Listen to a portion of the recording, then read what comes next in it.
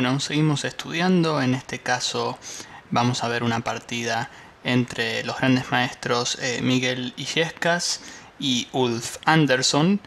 Eh, vamos a pasar directamente a la acción. Eh, las blancas juegan E4 y las negras juegan con C5. La defensa siciliana, que como ustedes saben es la más popular probablemente del ajedrez y donde las blancas suelen lanzar muchos ataques, sobre todo en el flanco de rey. Y por otro lado nosotros con negras eh, tenemos que defendernos, ¿no? La mayoría de las veces. Obviamente que hay casos donde las negras atacan también. Eh, vamos a pasar directamente a la línea principal, caballo F3, D6.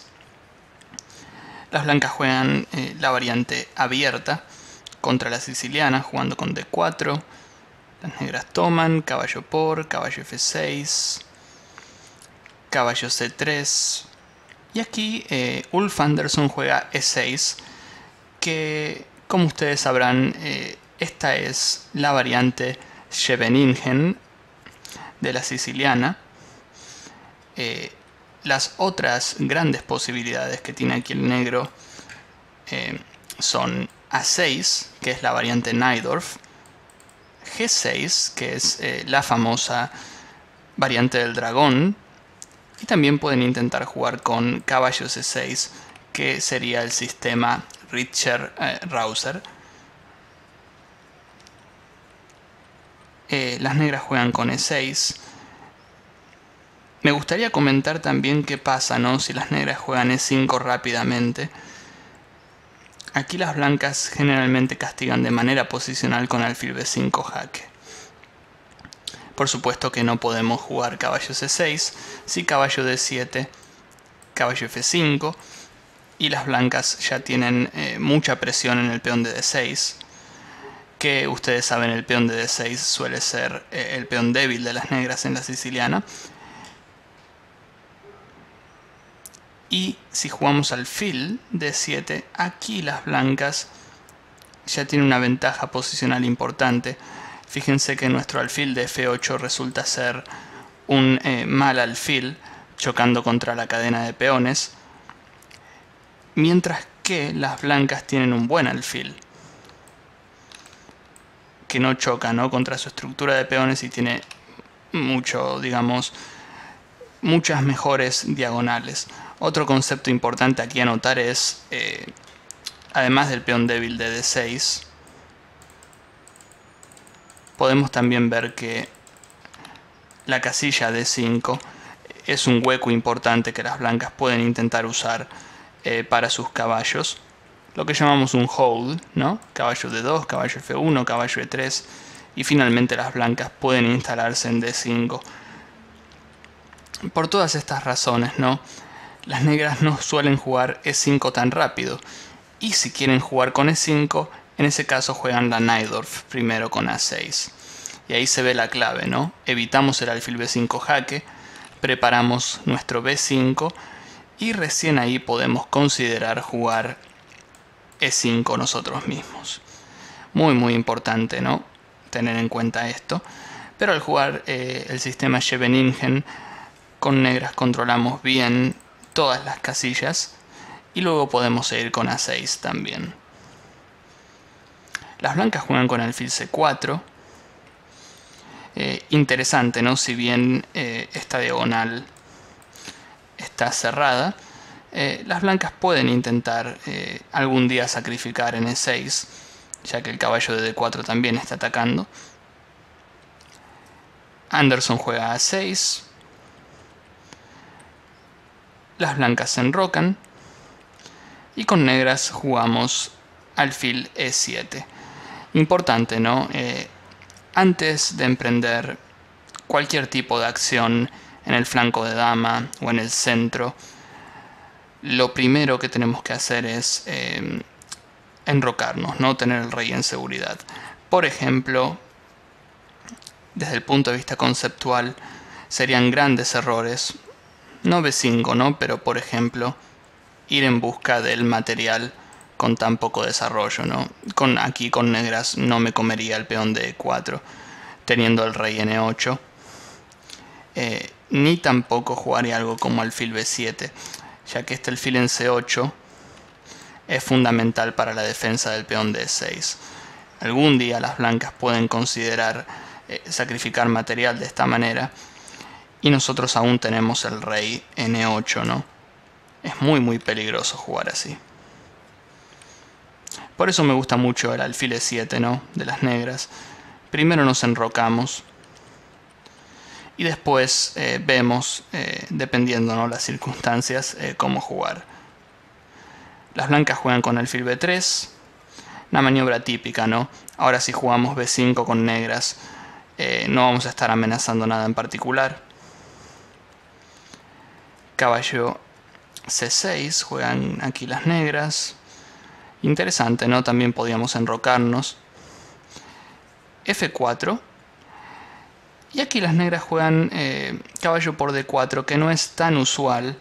Eh, por lo general las negras se suelen enrocar y suelen jugar con dama c7, alfil d7, eh, intentar jugar en el flanco de dama quizás. Em, caballo por d4 en la siciliana por lo general no se juega tanto ya que luego de dama por d4 las blancas obtienen una dama muy muy fuerte, ¿no? Mismo en la apertura las negras no suelen comer en d4 ya que si bien las blancas sacan la dama fuera, eh, bueno, tienen eh, muchas posibilidades con la dama en d4. Pero bueno, vamos a ver que aquí las negras se enrocan y las blancas juegan f5 directamente. Interesante, ¿no? f5, poniendo mucha presión en el peón de 6. Eh, bueno, vamos a ver que las negras juegan rey h8, pero si por ejemplo e5, que es probablemente la primera jugada que pensamos, Fíjense que aquí aflojamos muchísimo esta diagonal y no vamos a tener manera de competir contra el alfil de b3. Eh, sin mencionar que también dejamos un hueco eh, importante en la casilla de 5. Entonces nosotros no vamos a mover el peón de 6, lo vamos a dejar, ¿no? Para controlar bien de 5. Y bueno, rey h8 de las negras, una jugada que parece demasiado precavida. A mí en lo personal no me parece mal eh, jugar rey h8. Lo que sí quizás podría con negras intentar algo también, eh, algo más táctico, teniendo en cuenta esta diagonal. Él también tiene el rey, digamos, en una diagonal peligrosa. Podría jugar dama c7 con idea de d5 y alfil c5.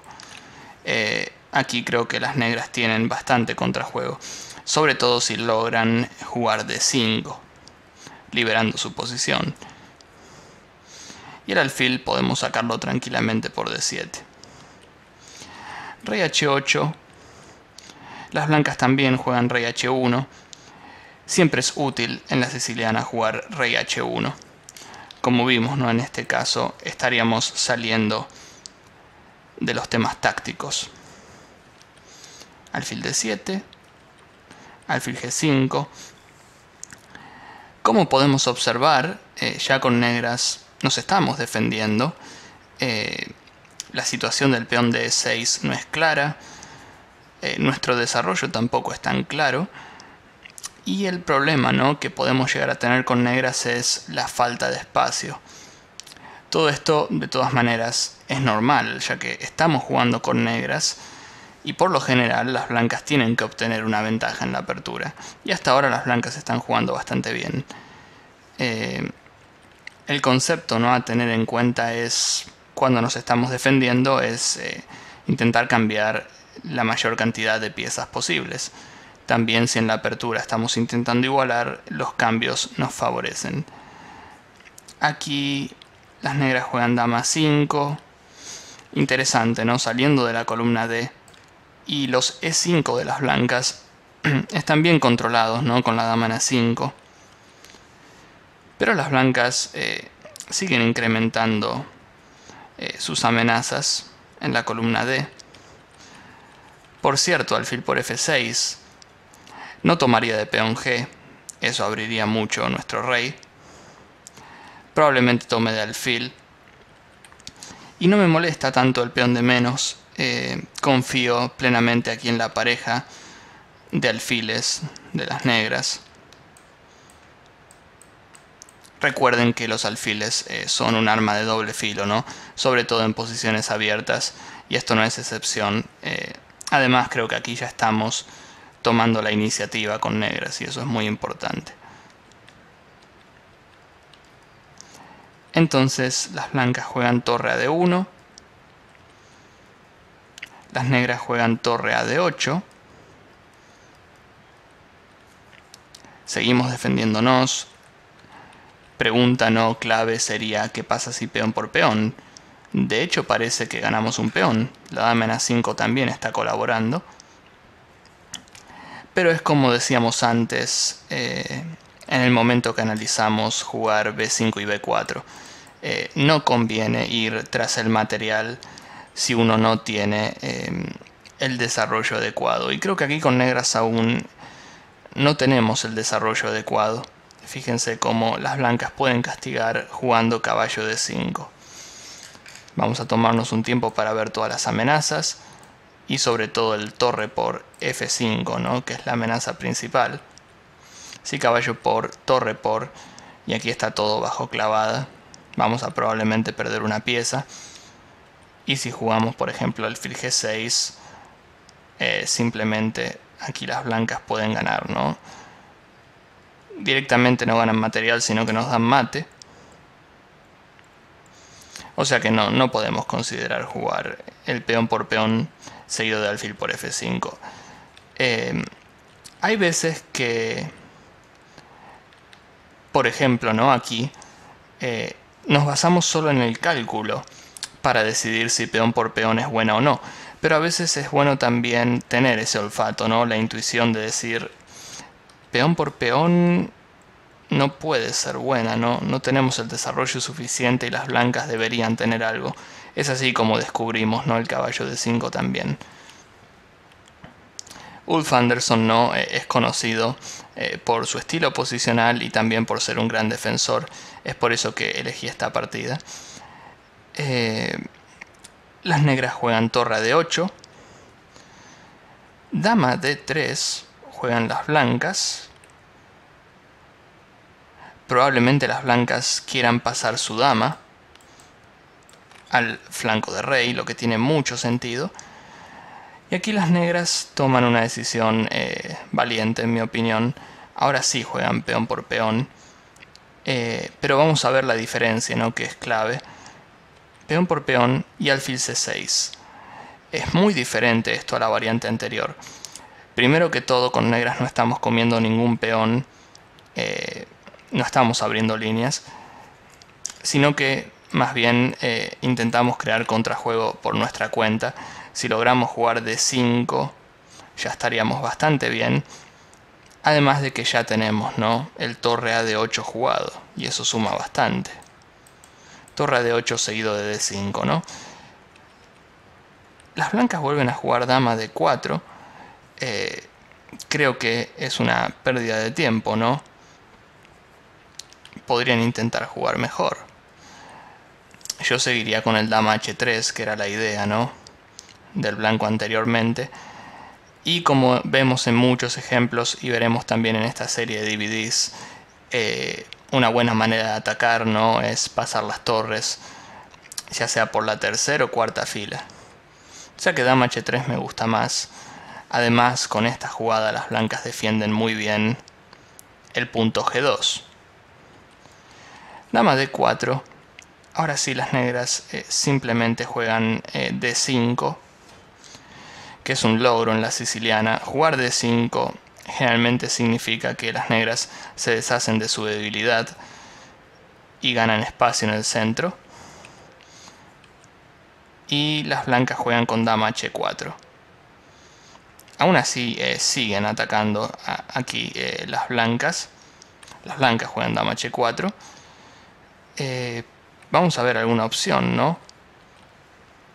Torre 1, ahora creo que es eh, tiempo de que nuestra dama vuelva a C7.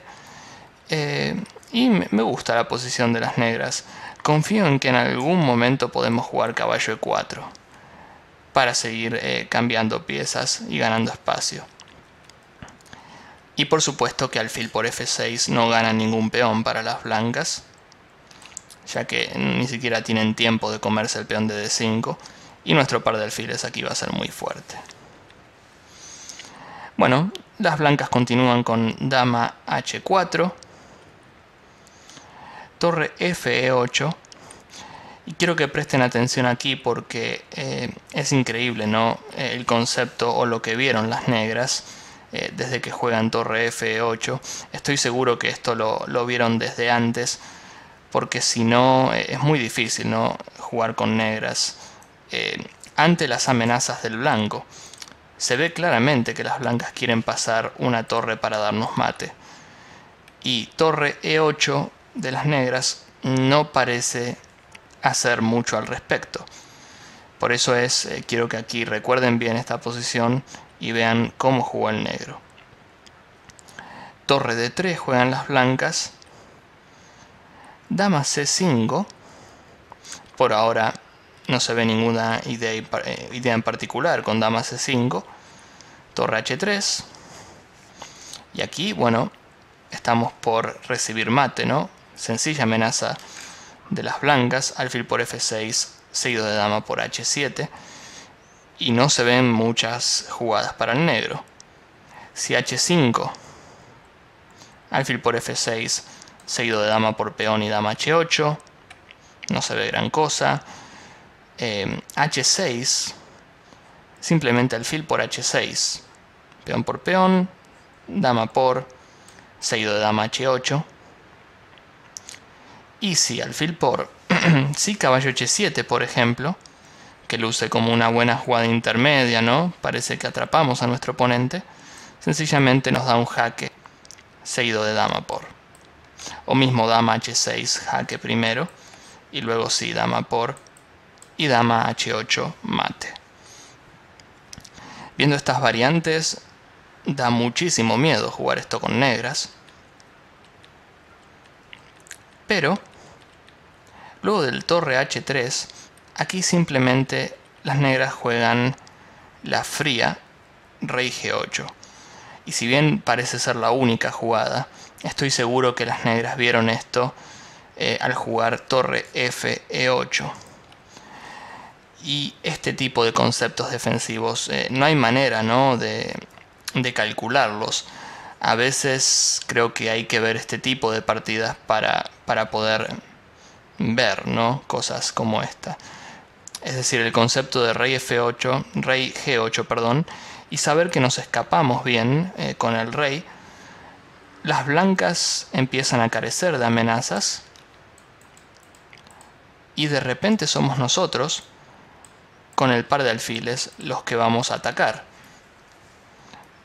De repente aquí no, las blancas entran en la variante y vamos a ver que de repente, ¿no? Son las negras las que pasan a atacar. Eh, rey E7. Las blancas vuelven a H5. Aquí ya se ve la primera trampa. Por ejemplo, si torre 1 jaque, rey D7. Y la ventaja negra es decisiva. Tenemos dos amenazas. Las blancas no pueden jugar dama H4. Tienen que hacer torre por, torre por. Y de repente vemos que su primer fila está totalmente desprotegida, no pueden evitar el mate. Entonces, bueno, torre 1 no. Eh, dama h5 es mejor. Y ahora sigue otra gran jugada eh, de Ulf Anderson. Y yo la considero una jugada defensiva. Eh, yo creo que lo es, torre d7 básicamente preparamos rey de 8. El peón de menos que tenemos cada, cada vez eh, se hace menos importante. Con la torre en d7 defendemos bien f7 y llegado el caso, cuando saquemos el rey de ahí, vamos a poder jugar torre de a e7 y vamos a tener un interesante ataque en la columna E. Las blancas dan el jaque, rey de 8, torre por, rey por. Aquí las blancas se siguen embarcando en jaques innecesarios, creo. Eh, yo con blancas intentaría volver a la primer fila lo antes posible. Si bien con blancas tendremos que aguantar el avance de las negras y la apertura de diagonales, realmente es difícil no jugar contra el par de alfiles. Y todo esto a cambio de un peón. Con negras, una vez que tengamos al rey bien seguro, ya no tendremos nada que temer. Dama H8, bueno, rey E7, ¿no? Jugada única. Dama F8 no, no tiene muy buena pinta, ¿no? No queremos cambiar damas nosotros con el peón de menos. Y ahora se viene la amenaza de dama F2. Las blancas eh, lo paran jugando caballo de 1 y D4. Cada vez eh, mejoramos más nuestra posición con negras. Y lo interesante es eh, que, bueno, la dama de las blancas ataca, el alfil de B3 ataca, el caballo de D1 es como que pasó a cumplir un rol defensivo, pero siendo blancas no me preocupa un poco la torre de H3, como que la torre quedó fuera de juego y tampoco puede hacer mucho para atacar. Dama G8 juegan las blancas. Si dama H5 jugamos dama E5 y es increíble pero las blancas no tienen jugada para parar dama E1. Es inevitable. Ni dama H4, ni dama E2, ni torre F3. Ninguna jugada sirve para las blancas. Em, por eso juegan dama G8, amenazando al peón de F7. Pero aún así, las negras con frialdad calculan bien dama E5. Sigue siendo muy vulnerable la primer fila. Las blancas comen. Rey de 8, única jugada y fundamental para las negras. ¿Por qué? Porque si jugamos rey de 6, las blancas aprovechan y cambian damas lo antes posible, con dos peones de más, ¿no? Eh, sin damas tiene una posición totalmente ganada las blancas, pero al jugar rey de 8 es diferente. Torre H8 juegan las blancas. Parece una jugada mala, ¿no? Porque rey C7 se escapa de las manos. Pero si dama E6, jugamos simplemente torre E7 redoblando las amenazas en la columna E. Si dama por dama, hacemos torre por, y el torre E1 jaque va a ser imparable. Si torre aquí, rey. Fíjense cómo las blancas no pueden hacer nada para parar torre 1. Incluso los jaques se acaban, ¿no? Llega un momento que eh, las blancas poco pueden hacer para, salvarse aquí. Eh, entonces, simplemente intentan otra. Aquí en esta posición, luego de rey de 8, eh, las blancas intentan torre h8, si bien siguen acomodando al rey, ¿no? Dama aquí. Y bueno, la fría dama por f5. El problema de jugar algo como torre 7 aquí es que además de dama b8 que cambiaría damas, eh, dama de 8 es mate. O sea que nuestro rey aún sigue ¿no? en una situación crítica o peligrosa. Dama por, amenazamos mate en F1, no hay mate para las blancas, siempre el rey se puede escapar por B6.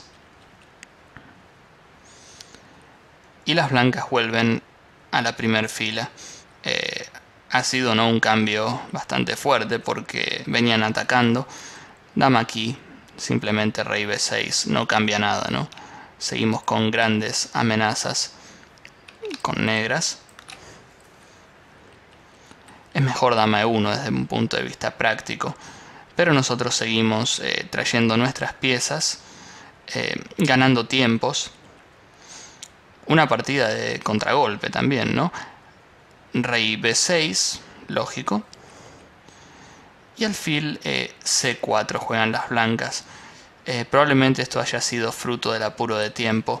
Si bien el fil C4 tiene una, idea, observen cómo con negras amenazamos torre E2 para barrer su segunda fila. Em, y de hecho si hacen rey G1, por ejemplo, aún así jugamos torre E2. Eh, y si caballo F2, torre 1 mate.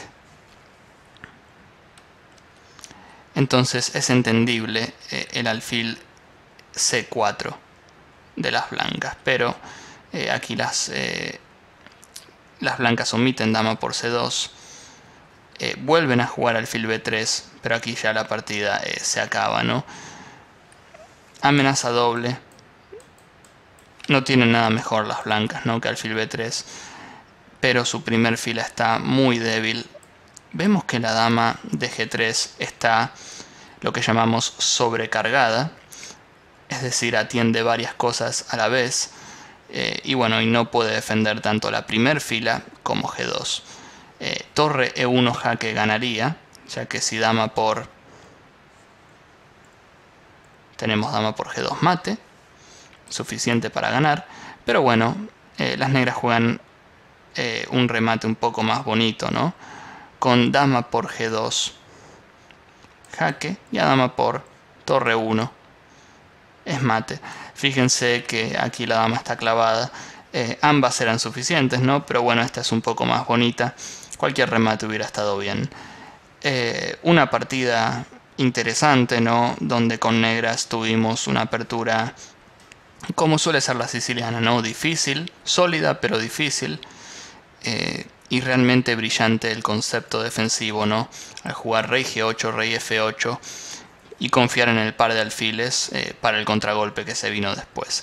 Así que bueno, espero que la hayan eh, podido disfrutar, que haya sido de utilidad y los voy a estar viendo en, próximos videos. Gracias. Eh, les saluda el gran maestro Damián Lemos para clasesdeajedrez.net. Primero espero que hayan eh, podido disfrutar del video. Eh, si quieren recibir más videos de nosotros, pueden simplemente suscribirse haciendo clic en el botón de abajo. También les recomiendo que se suscriban a mi curso gratis por email, donde voy a compartir con ustedes los 10 secretos para dominar como un gran maestro. Compartiré eh, esos detalles que yo mismo utilicé para eh, llegar al título de GM, cómo atacar, cómo defenderse, cómo pensar en el medio juego, cómo elaborar eh, un repertorio de aperturas y todo esto sin memorización ni sin libros tan complicados. Así que pueden suscribirse em, en la barra que tenemos aquí a la derecha y les prometo que no se van a arrepentir.